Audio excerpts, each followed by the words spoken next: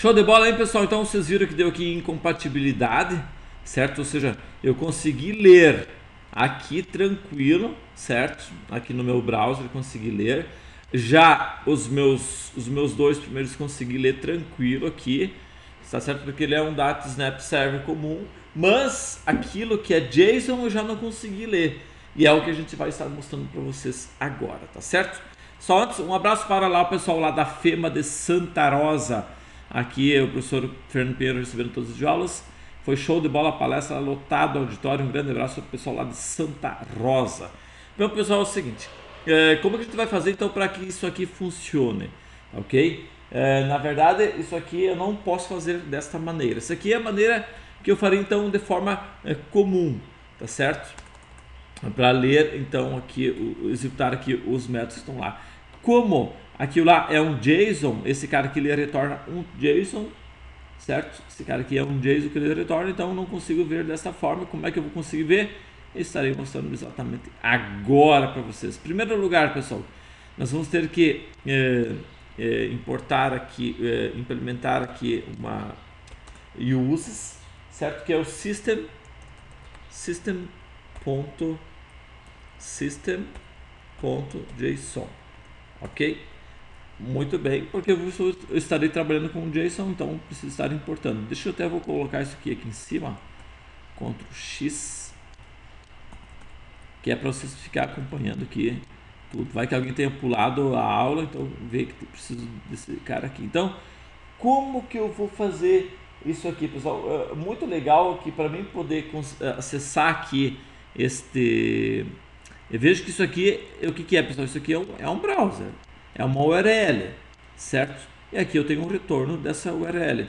Então, eh, nativamente no Delphi eu posso estar usando aqui uma biblioteca para mim fazer isso. Então, vamos aqui no meu client módulo aqui, veja que aqui nós temos nosso SQL Connection normal, acessando TCP/IP, e aqui a gente vai acrescentar aqui um, um outro componente chamado IDHTTP, certo? Esse cara aqui a gente vai colocar, simplesmente eu coloco aqui, não faço mais nada, pessoal eu já vou estar conseguindo acessar então uma URL e pegar o retorno desta URL, tá ok? Porque na verdade o que, que eu vou ler aqui? É a URL e vou ler o retorno, certo?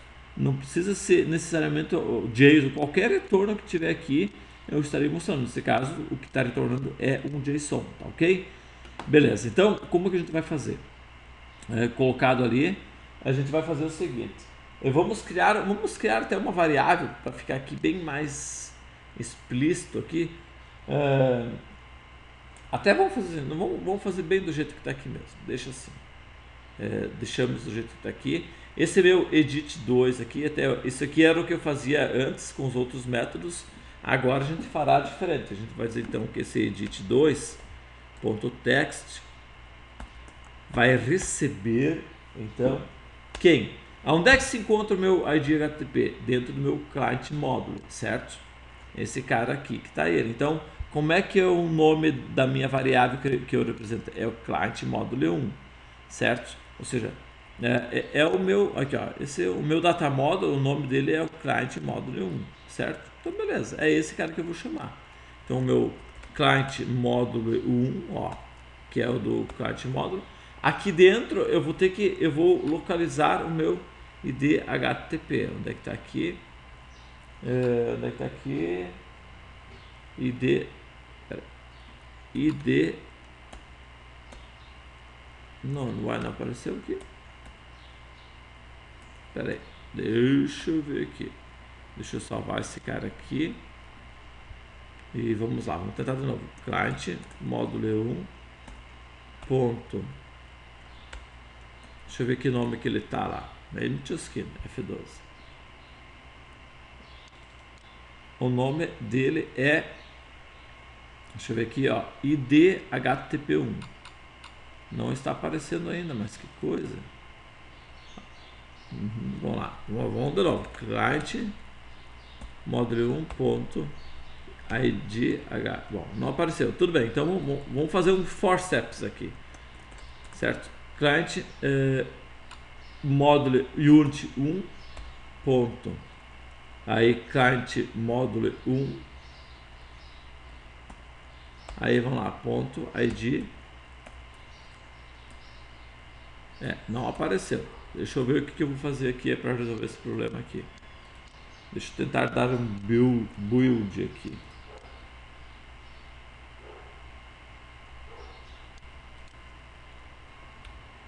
Vamos ir agora dar dois cliques e vamos ver se ele agora ele vai aparecer.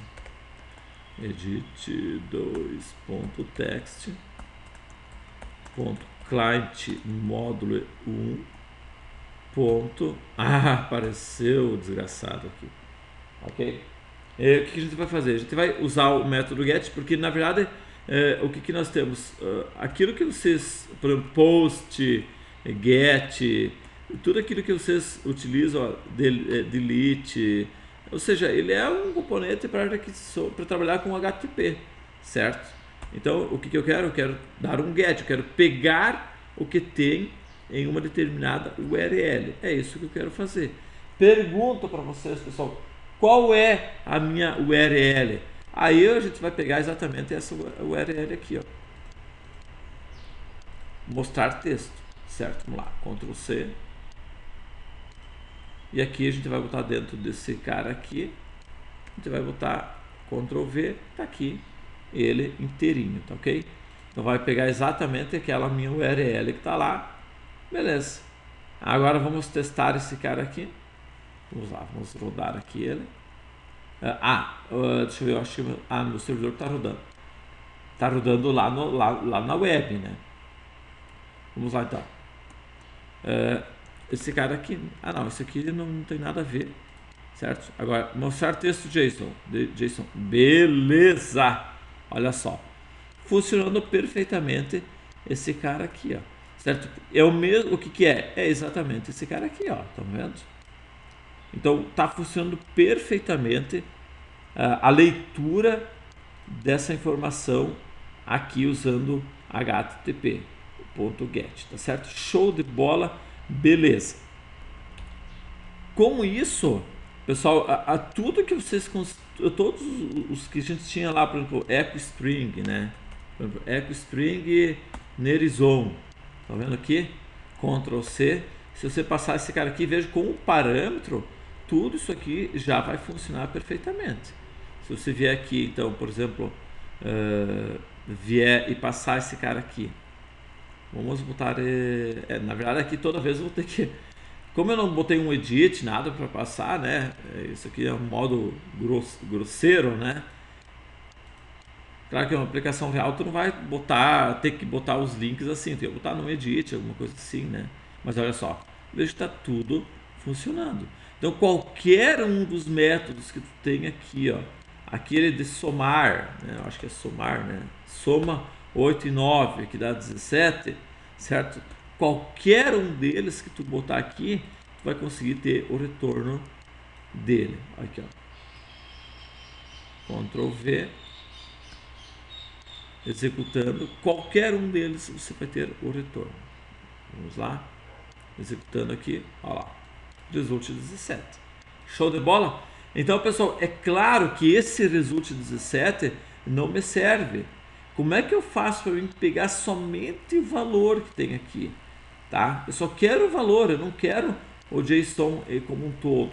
É claro, veja, pessoal, raciocine comigo. Ah, tu tem uma aplicação lá, uh, tem um, você quer consumir um JSON, um JSON vindo lá do banco, lá do correio, certo? Ele, o banco, ele vai me retornar assim. Você que precisa então pegar e abstrair essa informação aqui desse cara aqui, tá ok?